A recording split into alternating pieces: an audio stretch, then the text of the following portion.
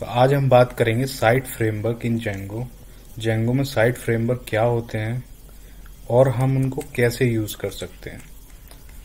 तो गाइस मान लीजिए कि एक न्यूज़ एजेंसी है और वो न्यूज़ आर्टिकल अपने डेटाबेस में स्टोर करती है। न्यूज़ आर्टिकल ओके सपोज़ कि उस कंपनी के दो डोमेन है। Domain one and domain two right और मान लो कि ये डोमेन वन साइट और डोमेन टू साइट दोनों ही आर्टिकल को पब्लिश करते हैं। आर्टिकल को पब्लिश करते हैं। अब, अगर मेरे पास कोई एक ऐसा आर्टिकल है डेटाबेस में, जो ये दोनों ही साइट पर पब्लिश होना है तो क्या मैं ये करूँ कि डेटाबेस में दो सेम आर्टिकल दो बार सेव कराऊं। सेम आर्टिकल ए मैं दो बार सेव कराऊं डेटाबेस में for different different domain for D one domain and for D two domain तो क्या ये सही तरीका है? नहीं। That is a wrong way right क्योंकि इससे क्या होगा डेटाबेस में रिडंडेंसी बढ़ेगी और फालतू का डेटा डेटाबेस में जाएगा। तो इससे बेटर है कि हम साइट फ्रेमवर्क का यूज़ करें और अगर D one D one domain को उस आर्टिकल का नीड है तो वो डी वन के हिसाब से फैच हो जाए और अगर डी टू को किसी आर्टिकल का नीड है तो डी टू के हिसाब से नीड फैच हो जाए। इसको हम कैसे करेंगे, इसके लिए मैं आगे अब बताने जा रहा हूँ। बट फ़िलहाल साइट फ्रेमवर्क का यूज़ यही है कि डिफरेंट डिफरेंट डोमेन को हम मैनेज कर सकें एक ही जेंगो प्रोजेक्ट पे राइट ठीक है, इसको समझने के लिए कि कैसे किया जाता है। देखते हैं। उसके बाद मैं आपको कोड भी दिखाऊँगा कि हम कैसे इसको मैनेज कर सकते हैं। सपोज़ कि हमारे पास एक डी वन आर्टिकल है। और एक डी टू आर्टिकल है। डी टू डोमेन सॉरी एक डी वन डोमेन है, एक डी टू डोमेन है और एक ए वन आर्टिकल है। तो इसको कोड लेवल पर समझते हैं कि हम इस साइट फ्रेमवर्क का यूज़ कैसे कर सकते हैं बट उससे पहले जो जेंगो फंक्शनैलिटी प्रोवाइड करता है, वो मैं आपके सामने बताने जाता हूँ। जो जेंगो है जेंगो एक Django dot contrib dot sites sites. ये एक प्री विल्ट इन विल्ट कह सकते हैं। एक ऐप है जेंगो के अंदर। अगर हम इसको इंस्टॉल्ड ऐप इंस्टॉल्ड ऐप में यूज़ करेंगे इंस्टॉल्ड जो लोग जेंगो अब, अभी अभी स्टार्ट किए हैं। उनके लिए मैं बता दूँ कि इंस्टॉल्ड ऐप एक लिस्ट है सेटिंग्स डॉट पाई में। जब आप जेंगो को सेटअप करते हैं तो वहाँ पर आपको अपनी बनाई हुई कस्टम ऐप या जो जेंगो प्रोवाइड कराता है, जो नीडेड है आपके प्रोजेक्ट के लिए, वो आप वहाँ पर मेंशन करते हैं। तो फॉर साइट्स फ्रेमवर्क आप Django dot contrib dot sites को वहाँ मेंशन करते हैं इंस्टॉल्ड ऐप में राइट जब आप इसको इंस्टॉल्ड ऐप में मेंशन कर देंगे उसके बाद ही सेटिंग्स डॉट पाई में सेटिंग्स डॉट पाई में ये एक फ़ाइल है, जो मैं, जैसा कि मैंने बताया, जब आप सेटअप करेंगे जेंगो का तो वहाँ पर आपको ये मिलेगी। वहाँ पर आप साइट आईडी साइट आईडी एक वेरिएबल को डिफाइन करते हैं। जो कि आपका एक डिफ़ॉल्ट जो साइट है, वो शो करेगा। जिसका आईडी वन है, जब आप इसको, जब आप इसको डिफाइन कर देंगे अपने सेटिंग्स डॉट पाई में तो जब आप अपने प्रोजेक्ट को माइग्रेट करेंगे तो क्या होगा कि आफ्टर माइग्रेटिंग माइग्रेटिंग क्या होगा कि एक जेंगो एक टेबल बनाएगा, जो साइट जेंगो साइट करके नाम की होगी। उसमें बहुत सारी एंट्री होंगी, जिसमें होगा डोमेन होगा नेम होगा आईडी होगा, ठीक है? By default Django example dot com domain नाम का साइट बनाता है। डेट इज़ बाय डिफ़ॉल्ट आप इसको कस्टम भी बना सकते हैं, अपना जिस नाम से भी बनाना चाहें। ठीक है, इसके बाद आते हैं कि हम इसको कैसे यूज़ कर सकते हैं। अभी के लिए मैं कोड अभी कोड लेवल पर भी जाएँगे बट अभी के लिए एक गेट करंट साइट एक फ़ंक्शन है जो जेंगो प्रोवाइड कराता है गेट करंट साइट जिसका जिसका सीधा सीधा आप समझ ही सकते हैं इस फ़ंक्शन से कि ये क्या करता होगा बट फिर भी मैं बता देता हूँ कि ये जो साइट जिस साइट पर आप जैसे कि मान लो कि अगर मैं S T T P site one जो भी आपकी साइट हो डॉट कॉम पर हूँ तो ये बता देगा कि आप इस डोमेन से रिक्वेस्ट कर रहे हैं अभी। That is the current site method okay अब हम कोड लेवल पर आते हैं। तो मैंने एक ये बाय डिफ़ॉल्ट मेरा ये टेस्ट डोमेन है। ये एक प्रोजेक्ट है। जो लोग अभी अभी जेंगो को पढ़ रहे हैं जेंगो सेटअप की, उनके लिए मैं बता दूँ, ये सेटिंग्स डॉट पाई होती है। ठीक है? इसमें इंस्टॉल्ड ऐप में मैंने ये देखिए Django dot contrib dot sites करके इंस्टॉल्ड ऐप में रखा हुआ है। ठीक है?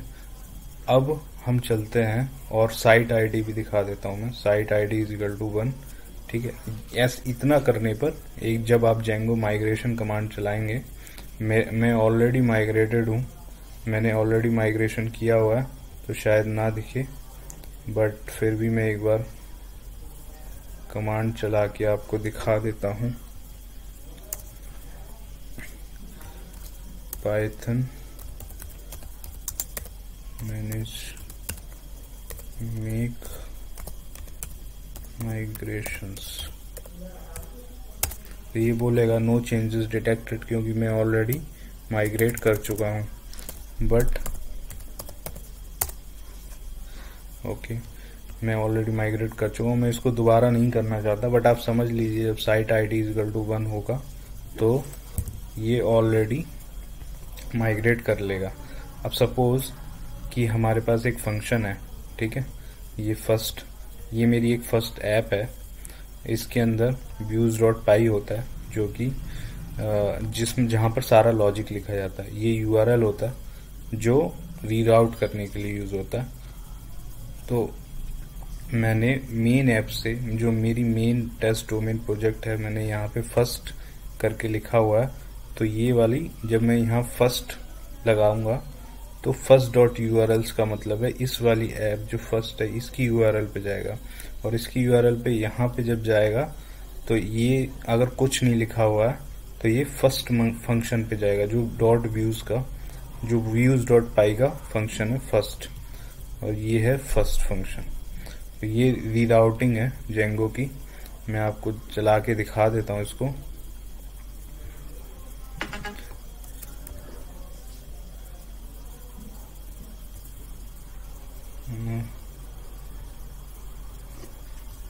पाइथन मैनेजर पाइथन सर्वर, और अब मेरा सर्वर चल गया है मैं इसको चला के दिखा दिया। ओके तो अब ये देखिए गाइस ये dev dot test dot in जो मेरा वर्चुअल डोमेन है राइट ये बेसिकली लोकल होस्ट डोमेन है बट इसका नेम चेंजेस है for the you know illustrating purpose तो अब जब मैं यहाँ पे dev dot test dot in पे चला रहा हूँ तो ये dev one dot test dot in देता है। क्यों?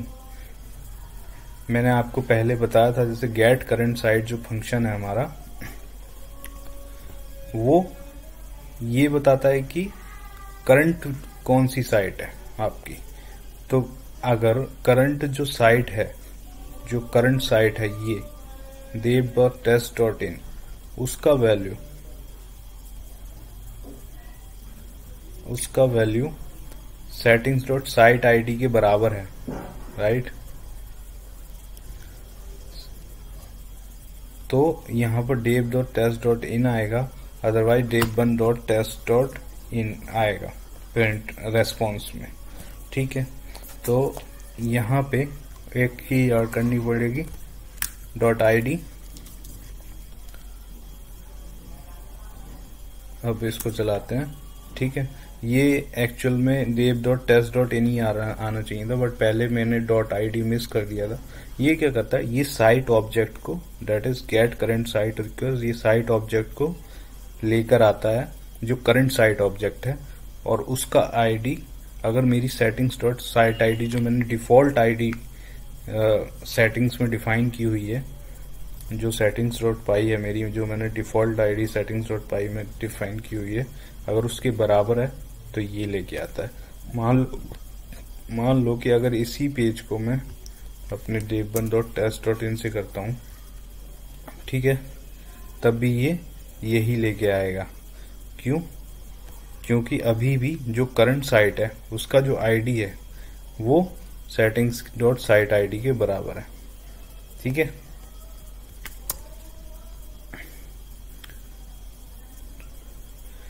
ठीक है?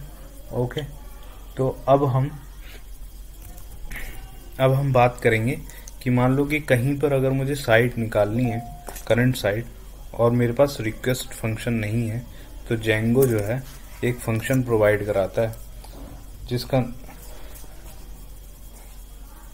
जो है गेट करंट ये साइट ऑब्जेक्ट का साइट ऑब्जेक्ट का जो है मेथड है इसको हम ऐसे यूज़ कर सकते हैं। सपोज़ आपके पास कोई ये साइट मॉडल है तो site dot objects dot get current ठीक है? हम इसको गेट करंट जो करंट साइट है, वो उसके लिए यूज़ कर सकते हैं।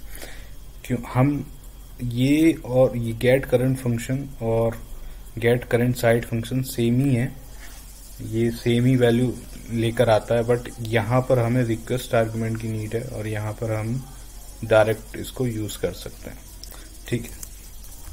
हाँ अब वो उस सिनेरियो पे आते हैं कि हमारा एक आर्टिकल है और वो अलग अलग साइटों में, दो अलग अलग साइटों में पब्लिश होता है।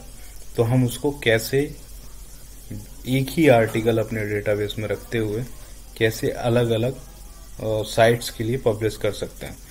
तो ये जो मॉडल है, जो जेंगो थोड़ा बहुत जानते हैं, वो समझ रहे होंगे कि ये मॉडल कैसे बनाते हैं और क्या क्या क्या यूज़ है इनका।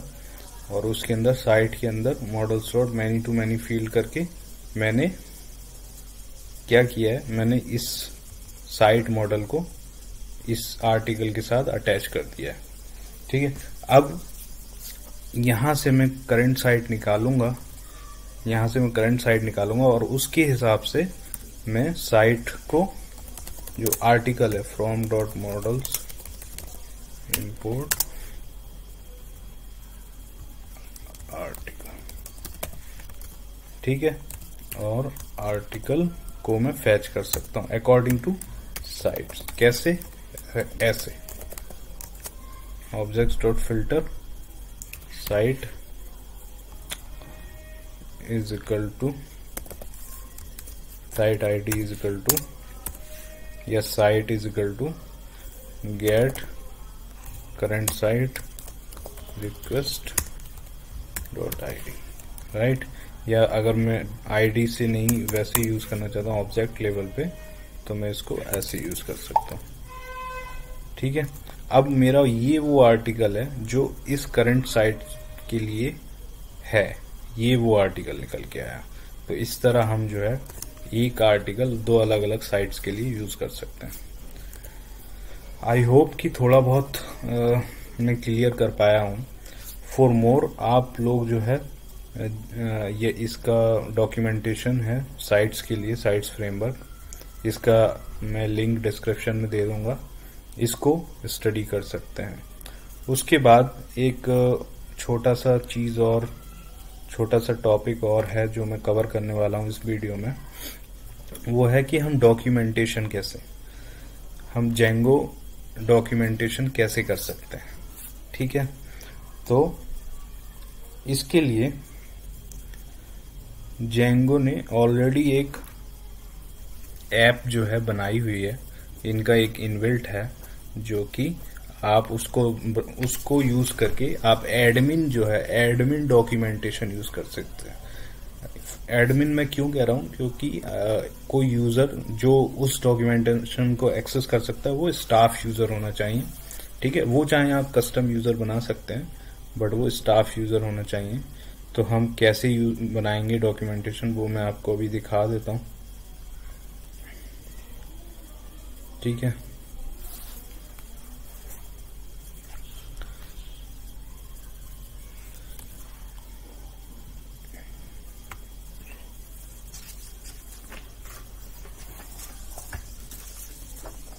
Okay so Django dot contrib dot admin docs करके इनका डॉक्यूमेंटेशन जनरेटर के लिए है, ठीक है? तो अभी हम इसको Django dot contrib dot Django dot contrib dot admin docs ये एक ऐप को हम इंस्टॉल्ड ऐप में लगा देते हैं एडमिन डॉक्स राइट और अपनी यूआरएल फ़ाइल में भी हम यहाँ पर ओके ये याद रहे कि ये ना एडमिन से पहले आना चाहिए. That is should be that should come from admin क्यों? अभी बताता हूँ. जैसे ये पाथ जो है एडमिन पाथ रहेगा ना. एडमिन डॉक्स कर लेते हैं इसको. Comma include Django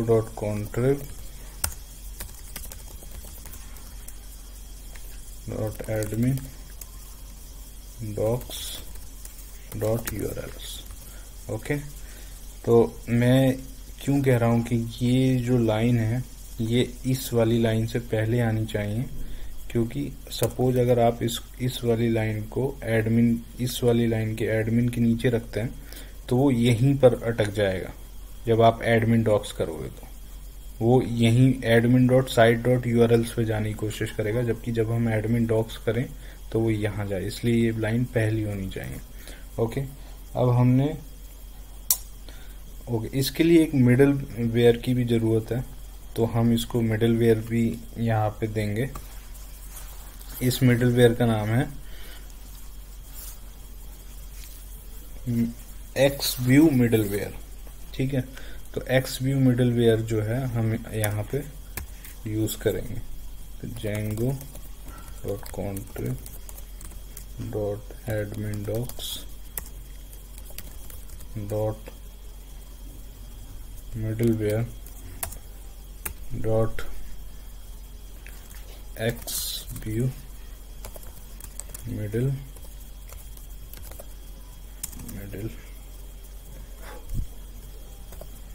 middle middleware okay guys now everything is setup अब चेक करते हैं। जैसा कि मैंने आपको पहले बताया कि एक स्टाफ यूज़र होना चाहिए।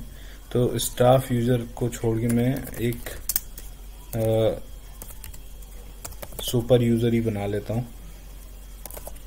Create super user root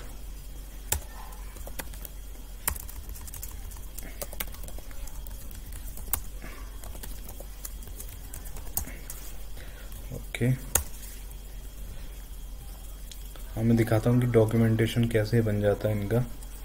Local host at zero zero admin okay.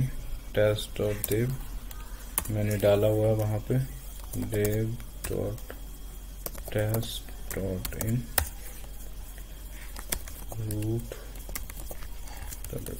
three ठीक है। एडमिन डॉक्स पे जाते हैं। देखा गाइज़ अब यहाँ पे पूरा डॉक्यूमेंटेशन आपके सामने है। और हाँ जो मैं साइट्स की बात कर रहा था कि क्या क्या होती है तो अभी देखो एग्ज़ाम्पल डॉट कॉम जो है इन्होंने मतलब ऑलरेडी जेंगो ने बनाई हुई है, जब आप साइट आईडी करते हो, जिसका आईडी है वन ये देखिए, जिसका आईडी है वन यूआरएल में देखिए साइट साइट वन ठीक है? और ये एग्ज़ाम्पल डॉट कॉम का डोमेन नेम है इसका। ठीक है।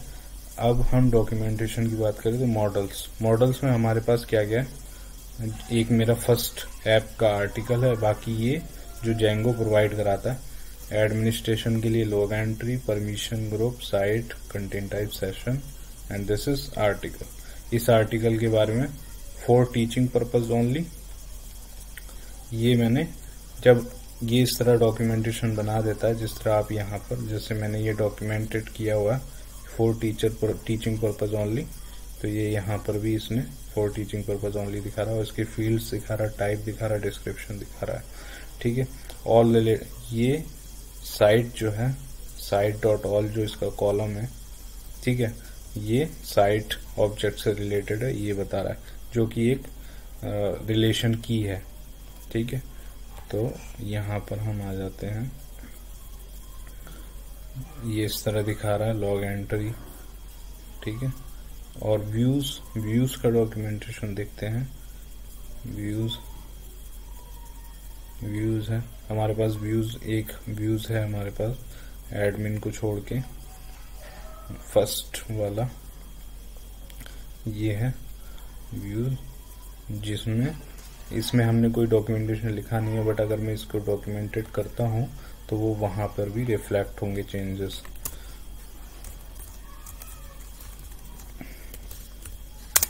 for fetching article according to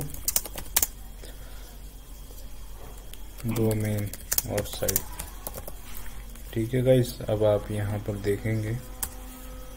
ये बता रहा है for fetching article according to domain और साइट और यहाँ पर हम बहुत सारे चीज़ शो कर सकते हैं। जैसे कि हम टेम्पलेट के बारे में बता सकते हैं कि ये व्यूज़ क्या टेम्पलेट देगा। ठीक है? और फिल्टर्स जो कस्टम टैक्स होते हैं, वो भी हम उसके बारे में भी जानकारी दे सकते हैं।